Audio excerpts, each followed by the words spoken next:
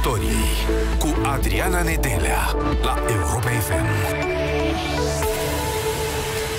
Vă salut, suntem în direct și pe pagina de Facebook Europa FM. Salutări așadar tuturor. Ne întrebăm astăzi ce trăim în vreme de război, ce trăiește România, ce trăiește lumea întreagă, care sunt planurile Rusiei și ce ar putea urma. Nu am înțeles foarte clar de astăzi, de la parada de 9 mai, din discursul lui Vladimir Putin, ce plan ar avea Vladimir Putin? Cum arată România și cum ne conduc liderii noștri astăzi? Și da, oare ce-am fi trăit? Ce-ar fi trăit România dacă era o țară care nu este membră NATO astăzi. Care sunt pericolele lumii de azi și ce lecții importante învățăm? Studioul Europa FM este în această seară domnul Gabriel Liceanu. Domnule Liceanu, bună seara! Mulțumim tare mult pentru că ați acceptat invitația Europa FM. Bună seara, doamnă! Vă mulțumesc! Este dificil să înțelegem, domnule Liceanu, ce trăim astăzi în vreme de război? E dificil să recunoaștem cu adevărat moartea, oroarea de lângă noi? Um, dat fiindcă discuția o faceți cu mine, deci cu un om care are ca de formație profesională gândul, ideea de a înțelege ce se întâmplă și de a ajunge, dacă se poate, până la rădăcina lucrurilor, în jurul acestui episod oribil pe care îl trăim de două spre trei luni acum, uh, se pune întrebarea dacă treaba asta trebuia să surprindă sau nu. Deși s-a petrecut, a apărut ca un șoc în viața europenilor, cel puțin, pentru că trăiam cu toții cu ideea că după al doilea război mondial, cel puțin în spațiu occidental, european, european, nu va mai exista război. Acum, ă, știți, ă, lecturile pe care sunt obligat să le fac pentru gustul meu sau obsesiile mele, m-au trimis înainte de a se întâmpla ce s-a întâmplat la istoria Rusiei. Pentru că ceea ce vedem acum uh, vine pe. Uh, s-a născut pe un pattern rusesc, pe, o, pe, pe un specific al acestui popor cu o istorie halucinantă. Și dacă nu cobori în această istorie, n-ai cum să înțelegi ce se întâmplă acum. Am să vă dau un scurt exemplu. Rusia are un mileniu de istorie.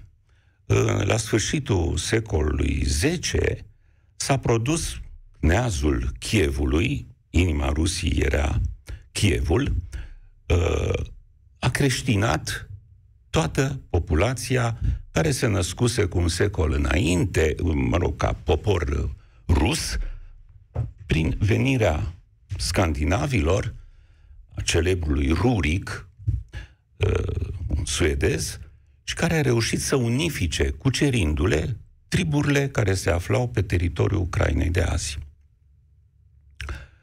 Uh, de atunci și până azi au trecut o mie de ani. În acești o mie de ani, istoria Rusiei a arătat așa. Primele două secole au, uh, au trăit o protodemocrație. Deci au intrat pe un circuit economic între vestul Europei și extremul Orient, care un comerț, un negoț, care făcea ca ideile, ă, viața spirituală să comunice între cele două mari uh, zone ale estului și vestului, ale Asiei și ale Europei. Drept care, până în secolul XIII, când au trecut prin cucerirea mongolă, care a durat 240 de ani, deci până prin 1240, rușii au, păr- au părut să se dezvolte într-un, într-o sincronie oarecare cu popoarele vestice. Ei bine, din clipa în care la începutul secolului XIII au fost ocupați de mongoli, pentru 240 de ani. Și până astăzi, la Putin, poporul rus, pe parcursul acestor 8 secole, a cunoscut 2 ani de democrație. Al, în vremea lui Elțin, 1990, 91, 91, 92. Atât. Restul a fost un popor care a trăit sub puterea absolută. A cunoscut ce se numește uh, autoritarismul total. Știți, uh, noi suntem cu toții educați înăuntru proprii noastre istorii. Fiecare popor își trăiește, și configurează un profil în funcție de istoria lui. Genele noastre nu sunt mai biologice, sunt și gene culturale.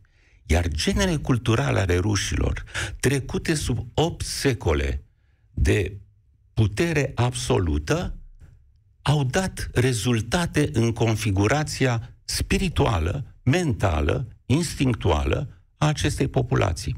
Așa cum la noi, de pildă, uh, fanariotismul a funcționat în genele noastre culturale și a făcut să trăim ceea ce și astăzi trăim, clientelism, nepotism și alte povești. La ruși însă lucrul a fost mult mai grav. A fost mai grav pentru că uh, absolutismul, despotismul, țarismul, etc., cum vrem să-i spunem, până la comunism și astăzi Putin, a presupus că toată populația acestei țări trăia în mintea unui singur om. Uh, ar fi bine ca de cei care ne ascultă să înțeleagă ce înseamnă ca niciun om din zeci de milioane, uh, în vremea lui Ivan cel Groaznic, în secolul XVI, existau vreo între 50-60 de milioane de ruși. Niciunul nu gândea cu mintea lui. Totul era compactat în mintea și voința unui singur om. Altfel spus, toți oamenii care se nășteau sub uh, această putere absolută nu știau ce e aia libertatea. Nu știau ce e aia democrație, nu vorbim, nu exista parlament. Exista voința țarului, care putea, era stăpân peste viața oricui. Acest lucru, indiferent de ornamentele istorice care au apărut pe drum, s-a păstrat în esența lui.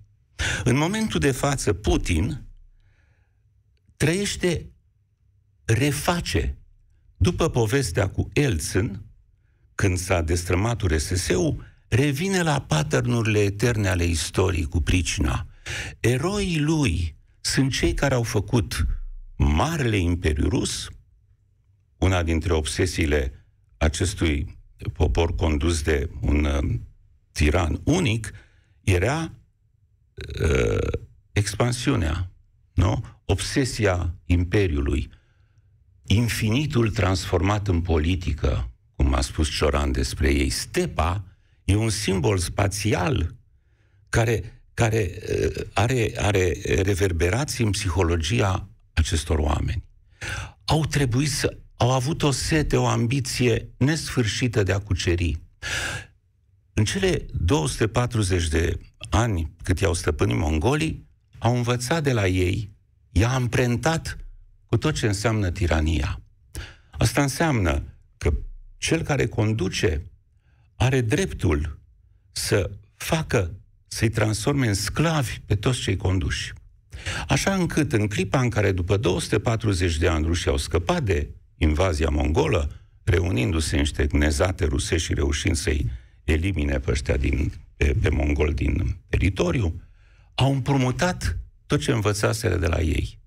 Cruzimea enormă, uh, obsesia cuceririi, a întinderii, a spațiului, uh, sub Ivan cel Groasnic s-a ajuns la cucerirea Siberii și din clipa aia imperiul nu s-a mai putut opri. Ceea ce trăim astăzi cu Putin este exact acest expansionism care are rol de diversiune politică.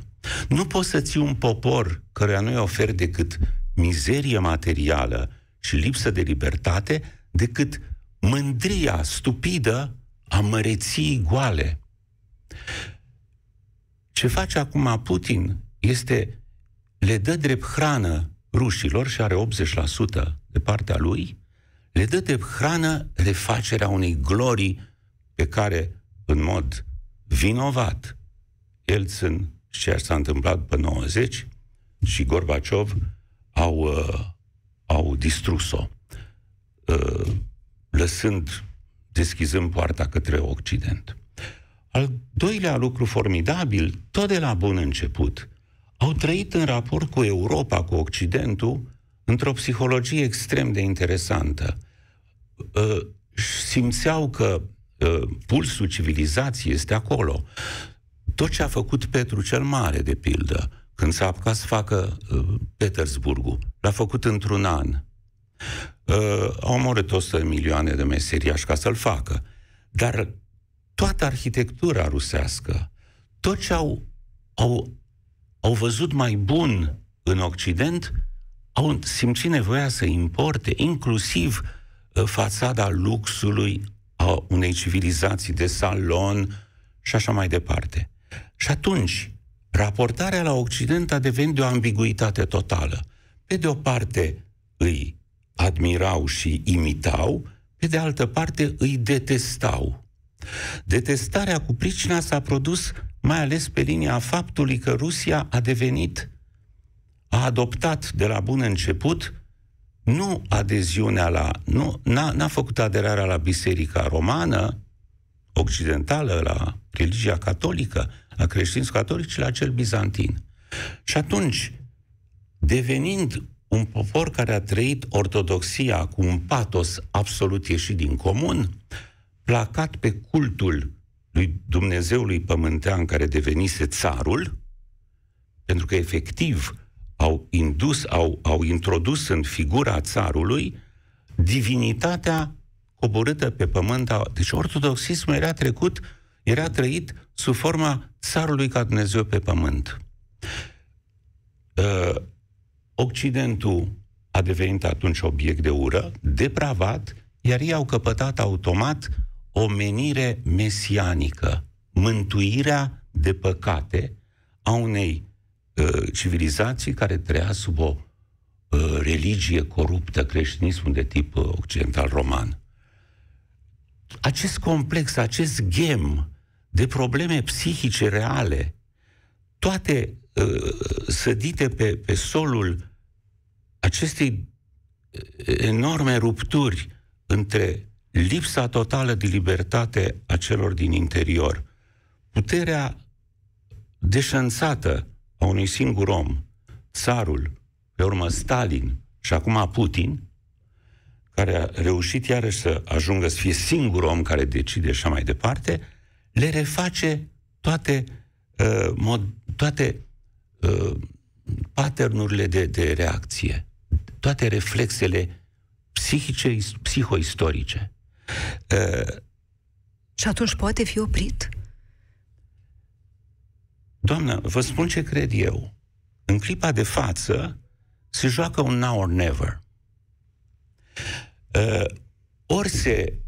Nu există decât două soluții pentru specia umană, vorbesc foarte serios, discuția se poartă la nivelul omenirii. În momentul de față, ce trăim noi sub ochii noștri, este uh, are, are o, o miză dublă. Din punct de vedere al rușilor, ori își refac imperiul și atunci obsesia finală este cucerirea Europei, pentru că asta a fost tot timpul obsesia istoriilor, cum să se răzbune pe acest Occident depravat care i-a umilit mereu. E o fantasmă, nu i-a umilit niciodată. Uh, le-a deschis brațele, le-a, le-a, uh, le-a onorat valorile, uh, le-a deschis toate porțile. Dar nevoia de a fi mântuitorii omenirii ai Occidentului, cum spuneam, și totodată uh, cei care, având obsesia expansiunii, vor să-și impună asupra popoarelor pe care le cuceresc propriile valori. Din această pricină acum se joacă acest lucru. Ori Europa rezistă la această neobarbarie, ori se poartă în continuare slab, cum s-a purtat în din 2000 și până mai adineauri, făcându-i un credit pe care nu aveau de ce să-l facă acestui om care a devenit țarul, ultimul țar al Rusiei, născut din mantaua KGB-ului. Deci forța de, de, de, de a țese pânza răului este fără margini. Pentru că în clipa în care pui o instituție de top pe planetă, de, specializată pe servicii secrete, pe crimă, pe minciună și așa mai departe, și îi dai puterea totală în stat și toate resursele, potențialul de rău care poate să funcționeze în clipa aia, iată, în, în marginea Europei, este enorm. Dacă Putin ar cuceri Ucraina, este evident că nu s-ar opri aici. Nimeni nu poate anticipa istoria. Cine face calcule și cine face pronosticuri, e, e ridicol. Se pot face speculații, desigur, se pot studia scenarii alternative. La un moment dat, a fost uh, întrebat, a făcut o vizită numărul 5 din Statele Unite, în Ucraina, uh, cel care se ocupă din partea civilă de serviciile armatei, de, uh, cum se numește, uh, sfatul Securitate. militar major, uh, ah, ce lapsus am, uh, statul major al armatei americane. Și după ce a făcut vizita în Ucraina, vorbit cu Zelenski, a făcut această declarație. Noi nu putem să intrăm acolo ca parte activă a războiului, dar ceea ce ne propunem este să ajutăm în toate variantele în care putem pentru ca să aducem Rusia în stadiul în care va fi atât de slăbită, atât de epuizată material, economic și ca mijloace militare, încât să nu mai poată niciodată în istoria viitoare să facă ceea ce face acum. Aceste vorbe ale unui înalt uh, funcționar de stat american spun că Occidentul a devenit conștient de faptul că aici se joacă o miză a istoriei lumii. Ori înving valorile democrației, ori înving valorile autoritarismului. Pentru că, repet, în clipa în care o, un imperiu uh, care practică tirania și teroarea, în clipa în care cucerește un spațiu nou, o țară nouă, un popor nou, automat introduce valorile lui. Deci bătălia a fost asta. Occidentul a crezut în 2000, cu venirea lui Putin, ce naivitate, să aștepți asta de la un uh, ofițer KGB, că Rusia va lua, o, va face o turnantă către democrație. Văzând că el îți face asta, a vrut să facă asta cu toată buna credință. N-a fost în stare, n-a reușit. Uh, toate țările care au scăpat din comunism au fost confruntate cu uh, uh, povestea asta. Cum se reconstruiește o națiune care a trăit în totalitarism? Rusia a dat semne că ar face-o cu Elțin. Gorbaciov a pregătit terenul, fără să înceteze să crede în idealul generos al comunismului, Elțin era un democrat pur sânge care a vrut cu toată buna credința să introducă valorile democrației în Rusia.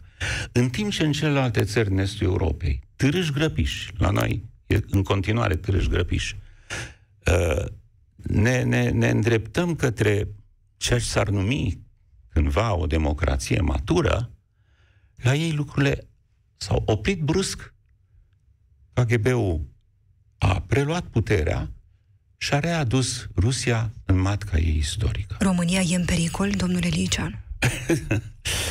Cucerirea Europei, dacă va cuceri Ucraina, nu se va opri aici, asta înseamnă că suntem și noi. Bun, acum evaluările, nu am niciun drept să fac uh, analize militare. Dar se apropie de genul ăsta. Nu, uh, analizele experților sunt mereu aceleași. Rusia a pierdut războiul.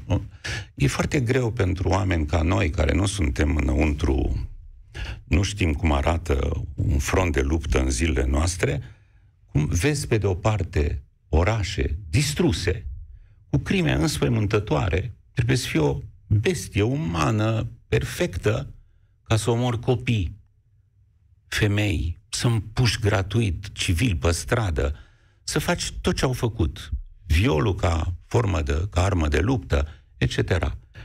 Uh, și uh, petrecându-se toate lucrurile astea, îți pui întrebarea, într-adevăr, dacă ar exista potențialul de militar enorm al acestei țări, așa cum din, în mod, din fericire greșit am crezut, lucrurile nu s-ar fi oprit aici. Dacă ei ar fi avut mare armată roșie pe care ne-au fluturat-o sub ochi tot timpul, uh, și aia a ajuns la victorie cu ajutorul dotările americane făcute masiv în partea finală a războiului. Deci dacă ar fi avut o măreață armată roșie, lucrurile ar fi arătat teribil. S-ar fi ajuns în mod clar de la un război rece la o înfruntare pe față. Acum se speră că nu există resurse pentru așa ceva. Ă, ce ar fi fost dacă noi nu eram în UE și în NATO în clipa de față, i-am fi stârnit pofta. e ca și cum unui animal de pradă îi lași o ușă deschisă. Sigur că o să intre dacă acolo e, e, e hrana dorită și îi miroase a, a pradă. Ă, așa există această graniță între ei și noi, cei din Europa, ă, o graniță pe care el ar fi trecut-o fără probleme dacă avea cum. Ă, nu vedeți, și astăzi a spus că ei, ei sunt atacați, că da. sunt sub presiune, că s-au apropiat de granițele lor. Uh, bun, acum, mai trebuie știu ceva, ceea ce ne-a mirat enorm în toate aceste luni din urmă. Uh, toți, cred. A fost o forță a minciunii care ne depășea imaginația. De ce se minte genetic? Iarăși, minciuna a însoțit istoria Rusiei continuu timp de, cum vă spuneam, 8 secole. De ce? Cum ajunge un popor? Poți să spui despre un popor că e mincinos? Se poate ajunge la așa ceva? Răspunsul e da. Și anume cum? În clipa în care ai un om care este declarat infailibil și în clipa în care uh, puterea lui este confruntată cu realitatea, cu starea poporului lui, care e proastă, e mizerabilă, atunci nu poți să spui adevărul, trebuie să-i ascunzi. Și toți de sub el, toți slujitorii, până la ultimul, îl vor minți, vor spune că lucrurile merg cum trebuie. Sub orice regim de teroare, minciuna înflorește. În clipa în care Ceaușescu făcea o vizită prin cartierul X și trebuia să treacă prin fața unei măcelării, măcelăria era umplută cu o oră înainte cu carne, după care era golită. Uh, unui, unui uh, tiran nu-i, nu-i pui în față spectacolul mizerii pe care a generat-o, ci din potrivă te apuci și agăți mere în pomii care nu dau roade, aduci hrană în magazinele care sunt goale, uh, ascunzi mizeria și o îmbraci frumos. Trăiești într-o mizerie, cum am trăit noi în anii 80, în ultima parte a lui Ceaușescu, lăsăm anii 50 care au fost teribili în începutul lor, dar sfârșitul a revenit la o mizerie extraordinară uh, și vorbești tot mai des despre epoca de aur în care trăiești sau către care te îndrepți. Deci cu cât realitatea contrazice mai mult idealurile utopice, cu atât minciuna e mai mare. Dacă trăiești 8 secole în minciună de acest tip, care devine minciună oficială, ajungi să-l vezi pe Lavrov spunând, ajungi să-l vezi pe Putin spunând că uh, au intrat în Ucraina uh, pentru ca să zdrobească neonazismul, lucruri halucinante. Uh, cea mai tare vorba a fost uh, pe vreo lună jumate. Dacă ucrainienii continuă în felul ăsta, atunci noi o să le declarăm război. Deci când se ajunge la cinism, la asemenea afirmații, de un cinism desăvârșit, uh, la un moment dat a apărut varianta, a apărut ipoteza că ucrainienii au tras rachete sau nu da. știu ce, de partea cealaltă, în Rusia, peste graniță. Hei, ne-au atacat! Uitați-vă ce fac! Ei bine, în fața acestor minciuni ți se ard lămpile. Nici nu mai poți să spui, da, voi ați venit peste noi, etc. Deci minciuna devine un metabolism mental. În România, cum stăm cu minciuna? Noi am trăit treaba asta și după 90. Și în prezent? Ponta a fost un campion al minciunii de acest tip. Da? Cum ne uh, conduc liderii noștri politici în prezent? Cum ne conduce președintele Claus Iohannis? Cum ne conduce premierul Nicolae Ciucă? Sunt păi... liderii noștri și i-am tot auzit, făcând declarații de când a izbucnit războiul și ne întrebăm și ne-am tot întrebat despre comunicarea de care am avut parte până acum și comunicarea din prezent. Cum suntem conduși, domnule Liceanu, în vreme de război? Nu cum suntem conduși în vreme de război. Asta este deja o mic detaliu. Da. Ei ne, ne conduc de două luni, nu, ne conduc de 32 de ani. Uh, Ăsta este un mic paragraf al felului în care guvernează. Deci, vă spuneam, după 90 s-a pus problema reconstruirii unei națiuni. Uh, în varianta unei, unor democrații stabile. Când îți propui așa ceva ca țară și o faci într-un context internațional și ești primit în Uniunea Europeană, NATO și așa mai departe, ești evaluat. Ori evaluările care se fac în clima, în momentul de față, în limbaj diplomatic și de politică internațională, au niște nume foarte clare. Democrație matură, stat uh, funcțional din plin, stat de drept, uh, stat slab sau fragil și stat eșuat. Unde suntem noi dintre aceste trei categorii posibile? În momentul de față, unul din cinci cetățeni ai planetei fac parte din țări cu democrații slabe, din state, din state slabe sau fragile sau state eșuate. Adică 1,5 miliarde de oameni nu trăiesc în țări libere, sau în țări care să aibă speranța că vor ajunge la uh, ținta finală, la statul de drept autentic. Ei, cu toate țările care au, au scăpat de comunism după 90, uh, s-a pus mereu această întrebare. În ce stadiu e fiecare dintre ele? Polonia, Cehia, România, Bulgaria, etc., Ungaria. Unde suntem noi acum? După părerea colegilor dumneavoastră Uh, jurnaliști de la G4 Media, uh, Dan Tăpălagă și Radu Pantazi, au scris, mi se pare, două, trei articole în ultimele zile, în care, în mod apăsat, vorbesc despre România ca stat eșuat. Acum, există criterii. În clipa în care vorbești de stat, uh, de țară, de stat fragil sau slab și stat eșuat, ai niște criterii. Dacă raportezi situația noastră la aceste criterii, o să afli unde ești. Acum, fiecare după mintea lui îl încadrează. Ei cu severitatea judecății l-au încadrat la stat eșuat. Discuția e deschisă. Ce înseamnă un stat fragil, în primul rând? Și ce înseamnă unul eșuat? Un stat fragil este unul care este incapabil să-și îndeplinească uh, funcțiile, obligațiile de sarcinile de bază ale unui stat. Colectarea taxelor, construirea infrastructurii acelei țări, oferirea educației de bază, serviciile medicale civilizate, programe de bază pentru pensionare. Dacă reușești să acoperi toate aceste puncte, e foarte onorabil, foarte onorabil. Ce înseamnă un stat eșuat? E un stat care scapă de sub control sau pactizează cu segmentele corupte ale societății. Și totuși unde ne vedeți? Doar trei minute, din păcate, mai ah. avem. Unde păi, suntem, domnule Liceanu? Ne găsim între, am, între ele două. Nu suntem nici în statul eșuat pe deplin, nici în statul slab pe deplin, încă ar fi bine. Avem contraselecția care ne va ucide.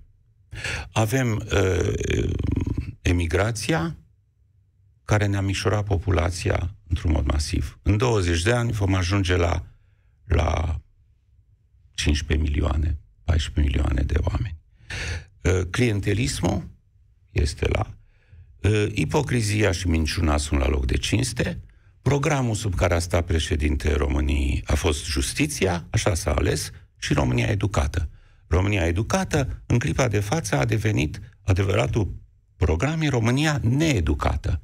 Și mă gândesc foarte serios să deschidem o direcție de discuție despre România needucată. Sub formă de cărți, de conferințe și așa mai departe. Este cumplit ce se întâmplă pe această linie. Să accept să-ți spui al treilea prim-ministru plagiator, al treilea, lumea l-aș și uitat pe al doilea. Nu să-l știți? Al doilea, al doilea prim-ministru. La Ponta a fost primul. Am avut după el încă un ministru, prim-ministru plagiator, Tudose, și acum Ciucă. Trei prim-ministri plagiatori, record în toată Europa și poate în lume. Ă, la justiție, locul cheie, o țară o măsor după justiție, parametru fundamental.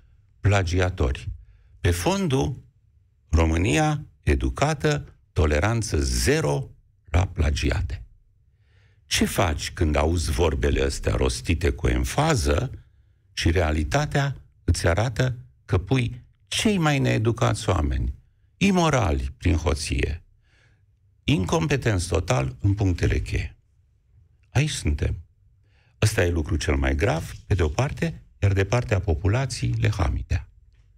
De obicei, un stat de drept se câștigă prin reactivitatea populației. Nu chiar ca în Franța, care trăiește jumătate în an în greve și care nu știu cum va fi guvernată, este extrem de fracturată, dar la noi nimic.